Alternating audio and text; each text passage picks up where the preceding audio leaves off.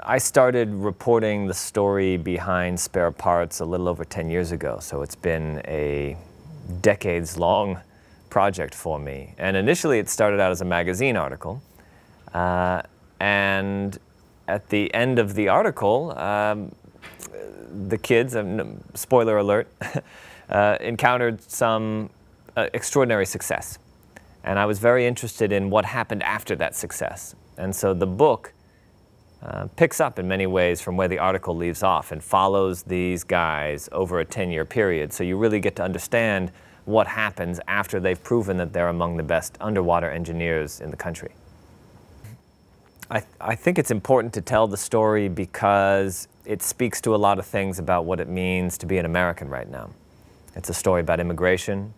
Uh, it's a story about trying to build an American dream, uh, overcome hurdles. And I think it also gives people a perspective of what it's like to uh, come to this country as a, as a child, being brought over by your parents and making a home in America and yet not entirely being able to call it your home. I think that has important repercussions for the future of this country. Uh, I think that there's a lot of things that are remarkable about the experiences of these four guys and the experiences of the teachers. Um, you know, first of all, the fact that they would decide to enter an underwater robotics contest when they come from a high school that's in the middle of the desert. They didn't even have a swimming pool. Uh, so it was a, a, really crazy challenge. And most people would think that you, you wouldn't even consider such a thing. They had no background in robotics, very little background. Uh, they had almost no funding uh, and basically no idea what they were doing. And yet they did it anyway. Uh, and so that, that fundamental decision to do something that sounds crazy to other people is something that I think we could all learn a lot from. Spare Parts talks a lot about immigration. Um, we're a country of immigrants. We all came from somewhere else. And I think that there is a tendency in the political discourse to rely on assumptions uh, and stereotypes about what an immigrant is.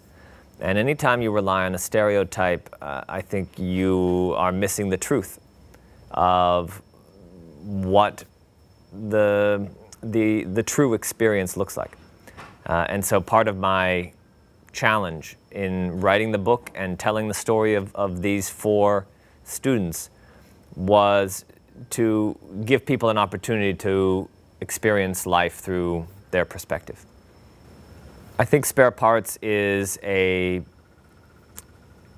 a, an opportunity to get people talking about what it means to, to be an American. How do you define American? How do you define uh, what it means to be an American? Is it enough to have grown up here? Is it enough to want to enter the military and fight for this country? Uh, the, all of these issues are touched on in spare parts and pose challenging questions. And, uh, and I think as a teaching tool, that's always a good thing when you get the opportunity to grapple with uh, questions that are at the forefront of the national conversation. I hope that when people read Spare Parts, they will come away understanding the experience of these four guys. Uh, and that may or may not change their perspective on immigration policy or what it means to be an American, but I want them at least to uh, have had the opportunity to understand somebody else's experience. Uh, and I, I, hope that in so doing, that they'll be able to make better decisions about the direction this country should go in. My family on my father's side came from Russia uh, a number of generations ago, uh, and you know, we still have that sense in the family of being an immigrant family. Like we've never forgotten where we came from.